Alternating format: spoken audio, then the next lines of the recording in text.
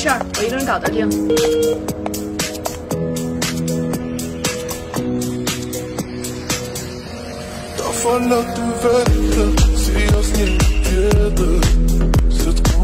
你好，我是新来的吧？第一天上班就迟到，两百罚款。这不还有两分钟吗？我说迟到就迟到，你。好。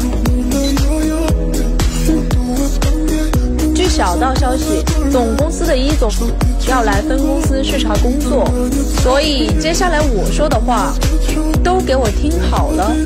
首先，如果问到你们的工资，就都说是六千。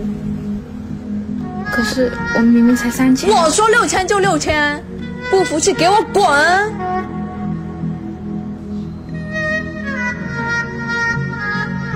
到时候大家都表现好点要是问到了，别给我多嘴。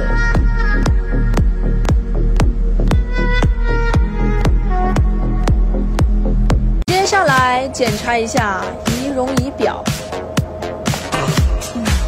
你个新来的，穿金戴银给谁看啊？戴首饰又不会影响工作，为什么不能戴？给我摆正自己的位置！你就是个小职员，整天浓妆艳抹的，想勾引谁呢？马上给我把妆卸了！公司什么时候规定不能化妆了？规定？我跟你讲，在这儿，我就是规定，我让你卸，你就得卸。我要是不卸呢？不卸是吧？我帮你卸。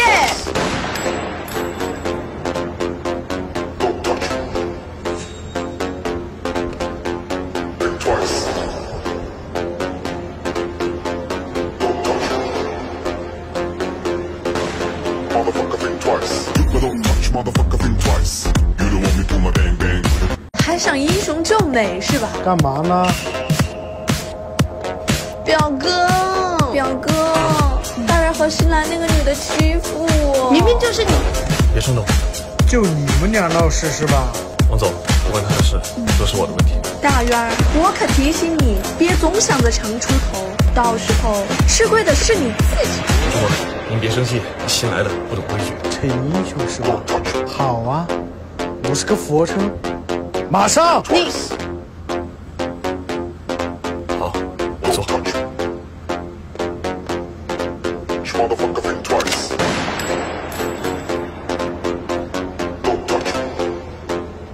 别太过分了。没事，我可以的。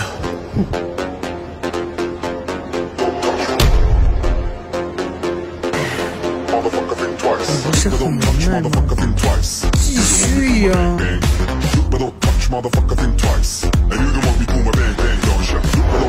滚！表哥，你没事吧？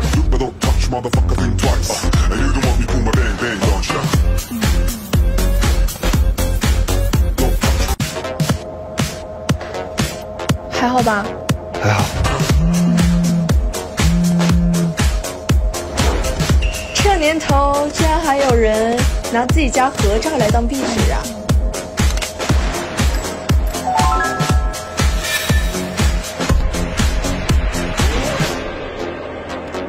是老板的女儿，藤一。你说呢？这年头谁不会 P 图啊？你唬谁呢？我还说唐一是我老婆呢，是吗？你别欺人太甚。表妹，这两个人你想怎么处置？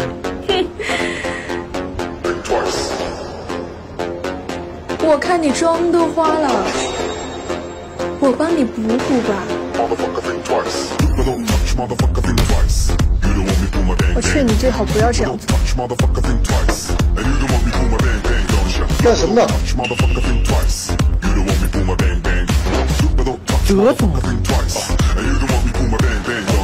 德总，什么风把您吹来了？姐，你没事吧？姐，今天我要不是过来看你一下，还真不知道这里被搞得乌烟瘴气。听不懂人话吗？说话呀！一总，我知道错了。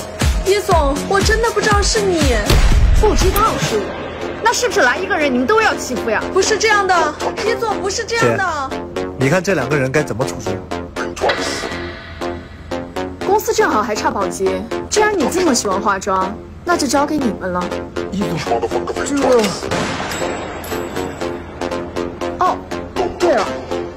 不要辞职哦，不然我可能会在业内封杀你。